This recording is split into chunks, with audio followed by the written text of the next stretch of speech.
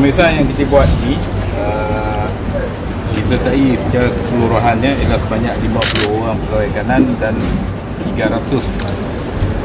uh, anggota lah daripada empat-empat agensi yang saya sebutkan tadi dan uh, 19 tim serbuan telah ditubuhkan dan uh, sasaran kita ialah 8 blok uh, rumah bangsa uh, di kawasan Desa Mentari.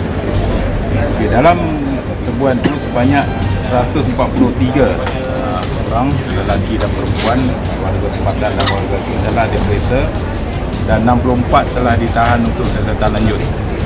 Okay, daripada jumlah tersebut uh, kita dapati bahawa 21 lelaki dan 15 uh, perempuan warga asing yang kita siasat lanjut di kawasan ini.